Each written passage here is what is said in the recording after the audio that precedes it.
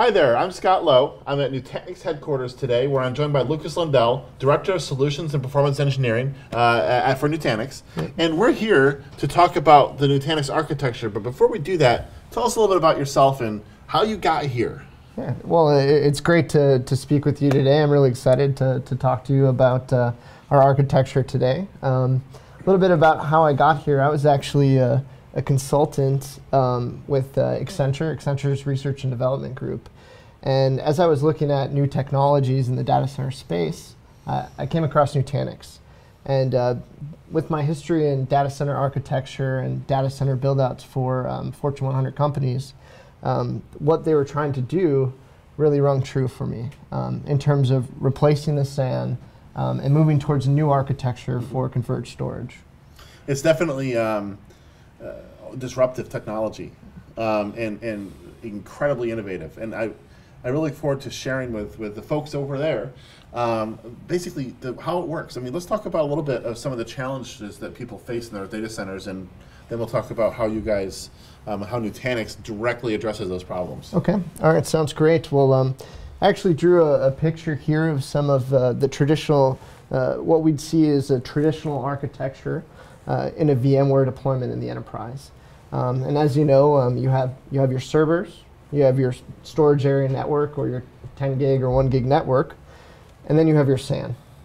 Um, most arrays that uh, enterprises buy today would be dual controller arrays, right, mm -hmm. with some, some attached disks, usually using a protocol like FCAL on the back end.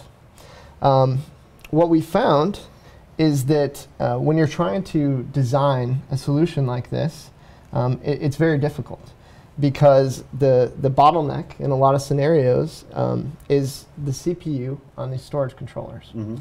So as you add more servers to a deployment, um, it's very difficult to know when this is going to reach capacity um, and when this is going to become the bottleneck in, in the deployment um, because all of the servers need to send their storage traffic and storage I/O through the centralized storage.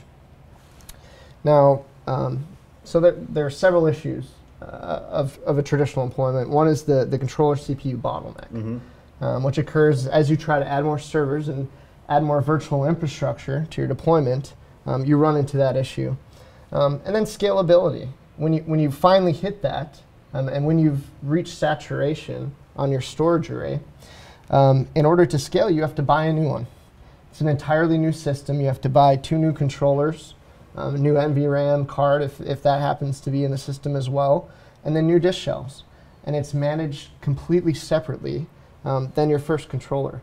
Um, right. so, sometimes you have some federated application to help you manage it, but it's really separate infrastructure. So that, that's that's a couple of the problems that we've seen with traditional infrastructure. And there's even more. I mean, if, if there's latency here, because we have the disk that's a, separate from servers, there's additional issues too, and it makes it really hard to plan for a new capacity expansion in, in any way, shape, or form across the environment, right? Yeah, absolutely. Um, yeah, you have this. You have a, a, network. You have fiber channel switches that could be an issue, um, or potentially network issues. Um, latency of the storage traffic over that uh, shared network. Um, and capacity planning, as we talked about. It's, it's very difficult in, with this type of design. So what do you do differently and better to help address some of those challenges that we see on the, on the, on the screen here? Yeah, absolutely. So first of all, we get rid of the centralized storage controller. Um, and we do that through the intelligence of software. So we believe that this problem in particular can be solved not by having a centralized storage array, which is a hardware entity, but by building the intelligence of centralized storage in a distributed system. We get rid of that too. Yeah, absolutely. so, um, so now we have uh, Nutanix architecture. Okay. And uh, in a Nutanix architecture, um, we actually don't have just two controllers. Um, we have one virtual storage controller on every node in our cluster or in our system. Now, some people think that th this is basically a VSA. And, and they, they deride the solution a little bit because like, well, they gotta they, they have to the VSA is a crutch, but that's not really true. And can you explain that a little bit? Yeah, absolutely. I mean, VSAs to some extent, it, it to some degree, it does look like a VSA. Right. I mean, it, it looks it's a it's a virtualized storage controller. Right. But that's where the similarities end. Um, most of the VSAs were designed. The initial set of VSAs that were out in the market were designed for small and medium businesses. They did not have the same level of intelligence that you would find in a centralized storage array. Um, the Nutanix uh, solution has all of the intelligence and all of the features that you would expect with some of the leading centralized storage arrays, such as automated tiering, data locality. So the VSAs that you mentioned, they don't have this concept of uh, VM data locality, where a VM talking to this, you know, virtualized storage controller, in, in that situation, um, the data is going to be local. Right. Whereas with some of the traditional VSAs that you're mentioning, that's that's not the case. Could be all. across the network, which introduces those latency issues once again exactly into the yeah. environment as well as additional complexity. Yeah, absolutely. So we have a, a controller VM basically. And what about the storage? Where's that now?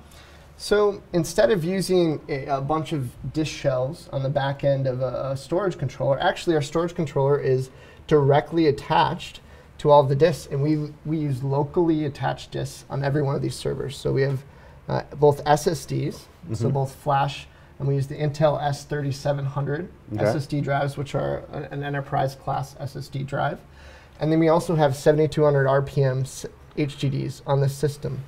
So every one of these systems has two SSDs. Okay, so we have with two- four HDDs. Um, two ultra fast SSDs, right? Yep. I just want to try because I want everybody to be able to see it here Yeah. because it's a good stuff. And uh, we have four HDDs. So the, basically, this is going to give you some performance. This will give you capacity. Exactly. Okay. Yep. So, how are you maximizing the storage the storage performance potential here? I mean, are you using these these disks as a tier, as a cache? I mean, how is that happening? Yeah, you're absolutely right. Um, so what we do is we have three level three levels. So on the read side, we have three levels of cache. We have an in-memory cache within every server, um, and then we have a hot tier, um, which is the SSD flash, um, and then we have the cold tier, which is you know data that's not being read or written frequently is actually stored on the slowest tier of storage. Okay. So it is it, it has auto tiering built in. So it's something that the customer doesn't even need to worry about. Right. Um, it's automatically done based on data access patterns.